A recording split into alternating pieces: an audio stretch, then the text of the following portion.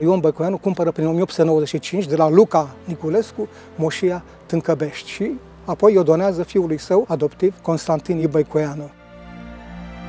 Boierul Constantin Băicoianu a prins uh, foarte mult uh, drag de satul acesta, un om uh, providențial la timpul potrivit și la locul potrivit, așa ne scoate Dumnezeu oameni în cale, oameni de bine, cum spun românii, care aduc lumină în jurul lor. Constantin Băicoianu dorea să aibă ce era mai bun uh, din punct de vedere al științei, al medicinii, al arhitecturii în satul lui. Și dorea un învățător deosebit pentru satul Tâncăbești. Iar uh, domnul Alexandru Neagu, la vârsta de 18 ani, se remarcase acolo unde era și prin voce și prin toate aptitudinile. Ca mulți alți învățători tineri, a fost uh, mobilizat, a participat la al doilea război mondial. Ce știi tu despre străbunicul tău? A luptat în război și într-o misiune a fost lovit foarte grav, iar pentru merite speciale de la rege și regina a primit niște medalii și simte că a fost prieten cu Enescu. După război desfășoară o intensă activitate didactică și culturală. Peste 60 de ani a fost un om al satului, domnul Alexandru Neagu, a organizat corul bisericii, a fost un uh, om devotat. Oamenii devotați fac lucruri minunate. O a treia personalitate la care trebuie să mă refer este preotul Ionel Băncilă, care, nu întâmplător, a fost adus aici tot de boierul Baicoianu. Și despre preotul Băncilă, iarăși în sat există și acum o amintire extraordinară. Cât de important este să nu ne uităm strămoșii și să urmăm exemplul lor? Noi cei de astăzi suntem și datorită celor dinainte și cei dinainte au așezat o cărămidă la edificarea educației noastre.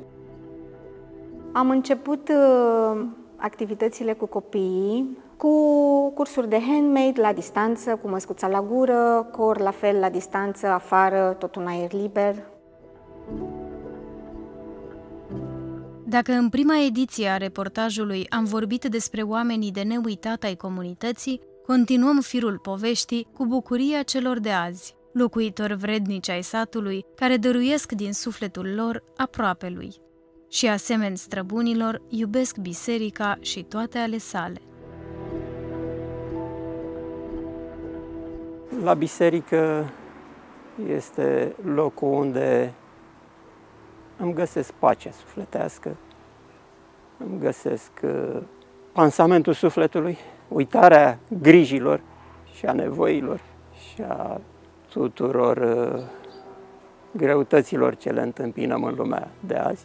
Cu mulți ani în urmă am început să vin la biserică, la început mai rar, apoi din ce în ce mai des și Acum uh, mă simt rău sau nu-mi place că nu vin la biserică. De ce? Care e atmosfera de aici? E o atmosferă deosebită. Era și înainte, într-adevăr, dar de când a venit uh, Părintele Marian, uh, pot să zic că a schimbat fața bisericii și noi profităm de tinerețea și de avântul dânsului pentru a realiza toate proiectele pe care și le-a propus.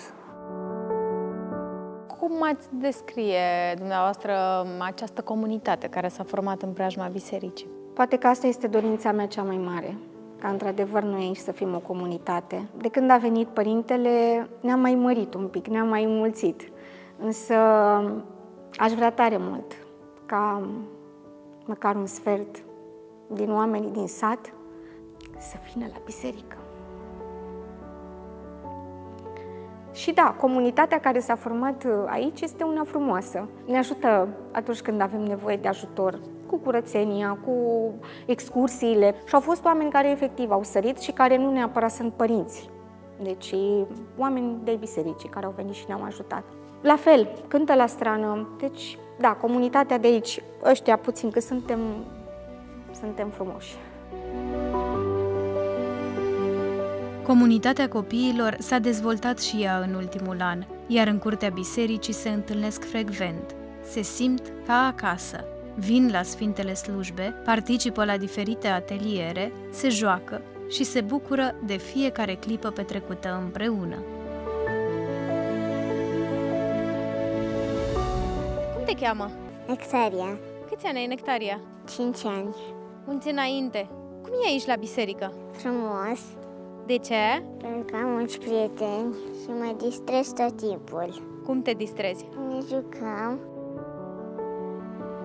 Cum sunt oamenii de aici? Sunt foarte prietenoși. Eu stau în București și mai vin uneori pe aici. Iar aici este, cum să zic, tot la fel minunat, pentru că toată lumea este prietenoasă. Dacă ai greșit ceva, nu râde de tine. Este o lume mai bună. Ți-ai făcut prieteni la biserică? Foarte mulți. Tot timpul învățăm chestii noi, ne și distrăm și ne simțim bine, împreună suntem un colectiv. Toți au suflet bun și nu este cineva care să gândească numai la el, știți? Adică fiecare se gândește și la celălalt și așa ne simțim toți importanți, într-un fel. Și este foarte special. un fel de familie. În fiecare zi vină numai copiii la slujbe. Nu s-a găsit o slujbă fără niciun copil. Andrei, de ce vii tu la biserică? Pentru a-L ajuta pe părinte în altar și pentru a mă ruga. De ce te rogi? Ca să fiu bucuros, ca să meargă bine lucrurile, zic Tatăl nostru sau cânt cu strana câteodată în altar cu părintele. Daria, cum e aici la biserică? Frumos, De ce? deoarece sunt activități și slujba și mă întâlnesc cu prietenii. Se cunosc de puțină vreme, însă au creat legături puternice. Datorită părintelui și soției sale, copiii s-au apropiat. Timpul petrecut împreună i-a unit. Când a început slujirea sa aici, părintele Marian și-a dorit să înființeze un cor al copiilor, neștiind că pasiunea sa pentru muzică va reînvia tradiția adusă de învățătorul Alexandru Neagu. De ce ați ales să înființați tocmai un cor? Ideea a fost inspirată de Dumnezeu. Acum conștientizez, după un an și aproape jumătate, că în satul acesta a fost o tradiție culturală și a existat un învățător dedicat, cu vocație, domnul Alexandru Neagu, care timp de 60 de ani a fost un om devotat pentru această comunitate parohială și se făceau șezători culturale și exista un cor al bisericii și un cor al școlii și un cor al femeilor care lucrau în fabrică. Existau multe coruri, deci practic am venit într-o zonă în care existau uh, premizele pentru o activitate culturală. Am preluat o ștafetă și încerc să o continui. Tradiție și continuitate, asta îmi doresc. Ardelean copil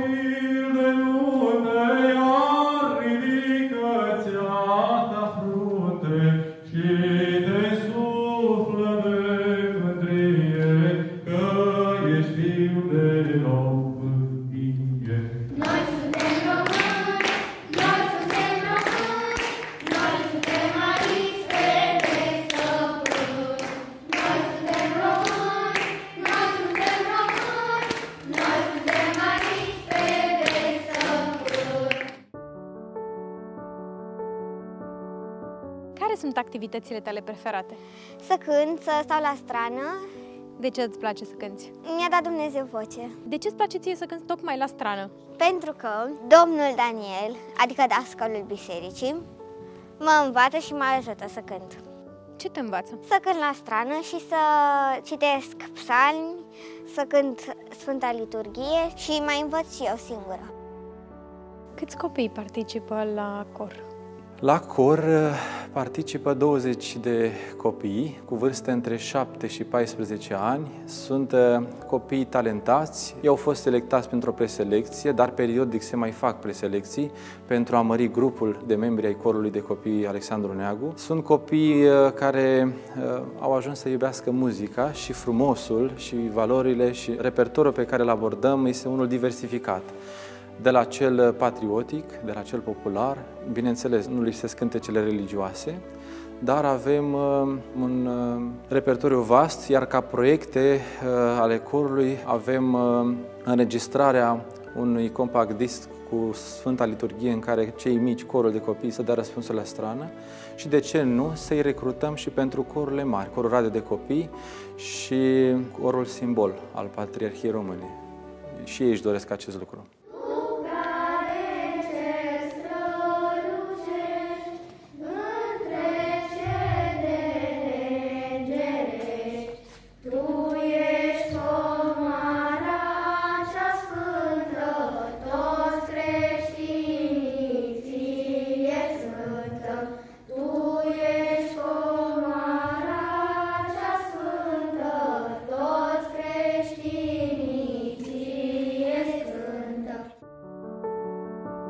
Toate cursurile pe care le organizează părintele cu copiii sunt deosebite, cursuri de pictură, de muzică nu mai zic, uh, cu un cor uh, și al copiilor și al uh, oamenilor mari de la strană. Există două coruri? Da, sunt uh, deosebite și pentru mm, niște oameni care nu au făcut uh, școală muzicală, nu, eu cred că mm, se descurcă foarte bine.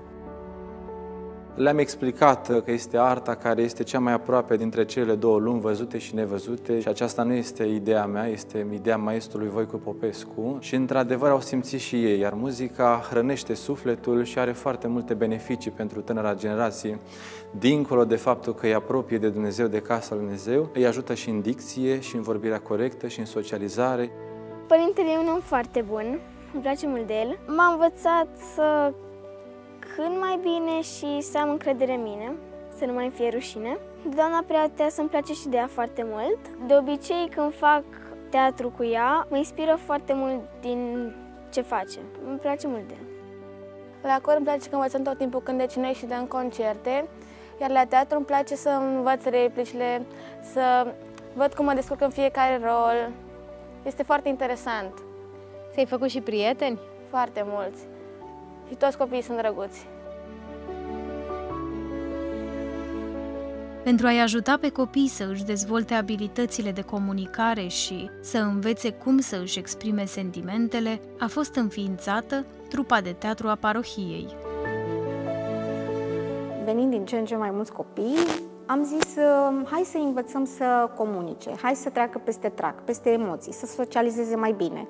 Și a venit părintele cu ideea, ce ar fi să faci un curs de teatru, deși n-am uh, nimic de a face cu teatrul. Acum câțiva ani, doamna directoare de lucram mi-a spus uh, nu mai căuta pe internet uh, scenete, ce ar fi să scrii tu o scenetă. Și acela a fost momentul în care Bunul Dumnezeu a început să pună în mine inspirația lui și au curs scenetele. Prima scenetă a fost uh, de Crăciun anul trecut, s-a numit Minunea, cum apare această poveste, copiii spun ceea ce își doresc și vreau să fiu Moș Crăciun, vreau să fiu el, vreau să fiu, nu știu, fel și fel de personaje. Luna, am avut chiar personaj cu Luna.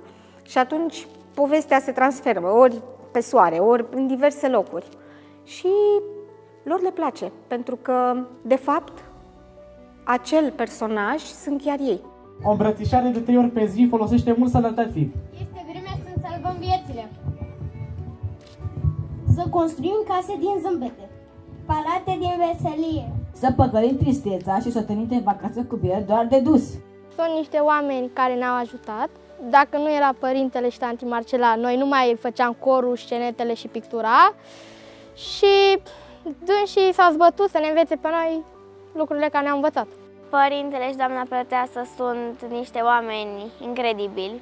Copiii la fel, decât că se mai ceartă între ei. Pentru că ei au un uh, dar care nu se poate explica. Părintele este foarte bun și răbdător. Preoteasa tot la fel, este și drăguță. Ei sunt foarte calzi. Când să le spunem ceva, ei ne ascultă și dacă este o idee bună, chiar o punem în acțiune. Cum e pentru dumneavoastră când vedeți uh, cât de mulți copii uh, aleargă în jurul bisericii? E foarte frumos. Știu sigur că asta este un proiect de suflet al părintelui, să reușească să aducă cât mai mulți copii la biserică. Ca și copil venind la biserică, probabilitatea să vii și atunci când vei fi matur este foarte mare. Mi-aduce aminte de copilăria mea, în- pot să spun, în tinda bisericii, pentru că chiar dacă au fost vremuri mai constrânse pe planul spiritual, eram totuși îndrumați de părinți, aduși, atât cât se putea la vremea respectivă. Am simțit că am fost aproape de biserică în copilărie. Ce alte activități ați făcut cu cei mici până acum? Ideile au curs pe parcurs. Am uh, desfășurat cu ajutorul doamnei Valeria Tofan, membru al Uniunii Artiștilor Plastici din România, cursul de pictură, atelierul de pictură. Doamna profesor are o experiență vastă și are multă dragoste de copii, se implică în mod deosebit. Au fost alese teme din cele mai interesante uh, și au uh, pictat casa părintească, părinții, bunicii, biserica, au ales teme din realitatea cotidiană. Îmbinăm temele istorice cu temele actuale, dar cele care țin de casa lor părintească, care spune cântecul nu se vinde niciodată, acestea au o rezonanță afectivă și uh, sunt foarte implicați în aceste teme. De-a lungul uh, acestui an uh, am mai început mai multe cursuri uh, și acestea au fost. Cu ajutorul doamnei Liliana Dumitru s-a făcut un curs de cursut pe etamină uh, cum se făcea odată și am încercat acest curs, au ieșit uh, mai multe lucruri frumoase.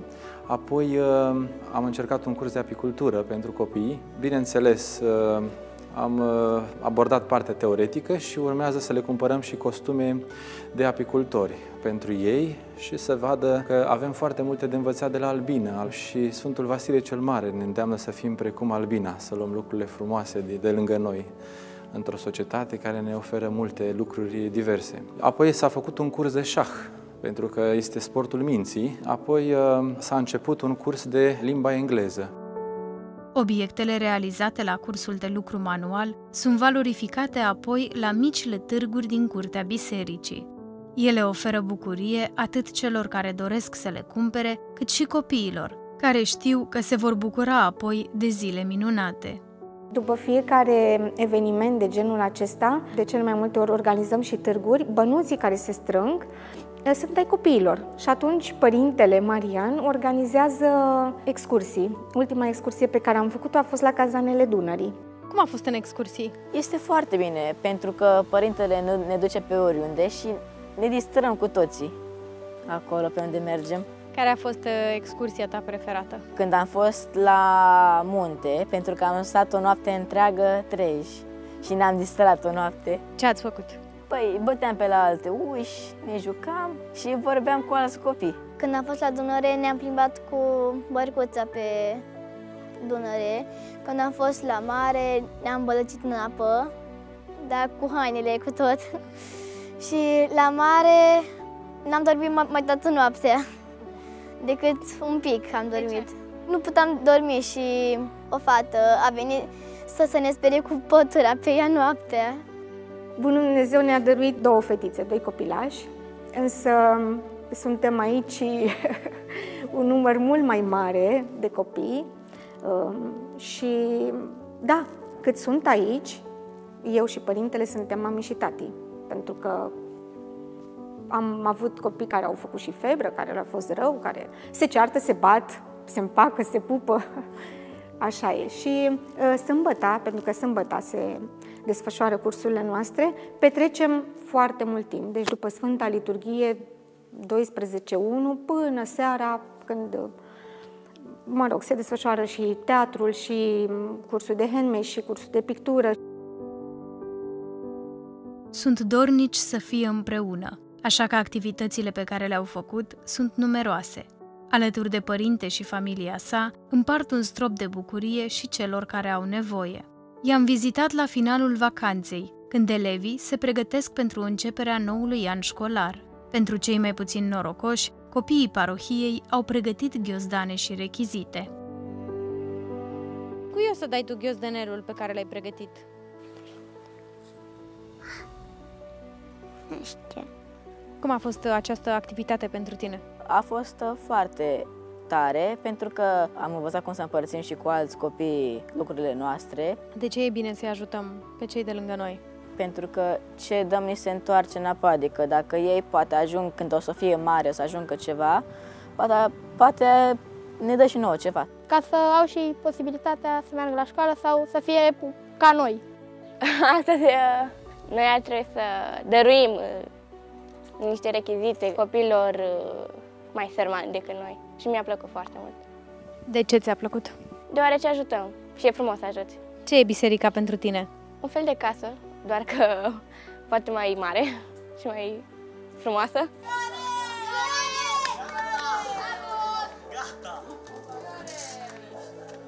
Ia zi, alegeți un ghiozdan care vrei tu.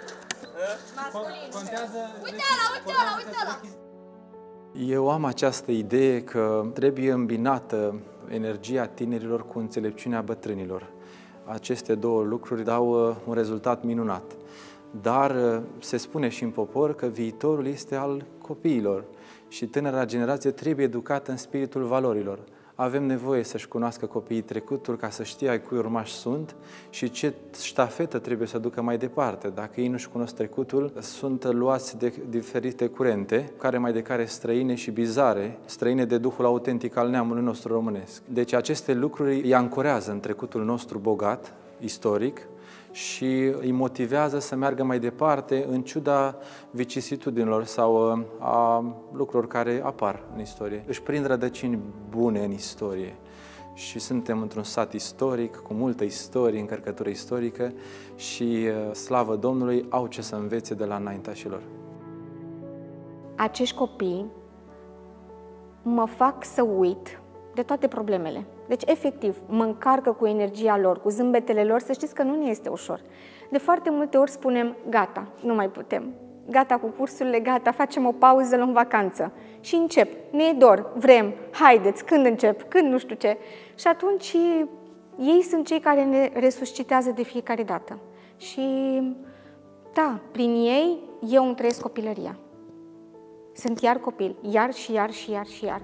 Și nu știu ce m-aș face dacă n-aș fi înconjurată de atâția copii. Cred că aș fi foarte tristă. Am prins un drag de biserică și de părintele. Înainte nu veneam, dar când a venit părintele nostru, uh, am început să vin uh, din prima zi la biserică și după a început să-mi placă. Și de atunci vin în continuare. Am văzut că vă jucați așa împreună tot timpul și sunteți gărăgioși și v-ați împrietenit unii cu alții. Da, am putea spune că suntem ca niște frați. Da? Atât de mulți? da, atât de mulți. Am văzut că v-ați atașat și de părinte și de doamna preoteasă. Da, sunt uh, părinții noștri de gradul 2, cei mai drăguți. De ce? Tot timpul sunt buni, ne ajută și tot timpul au grijă ca toți să fim fericiți. Și se gândesc la toată lumea.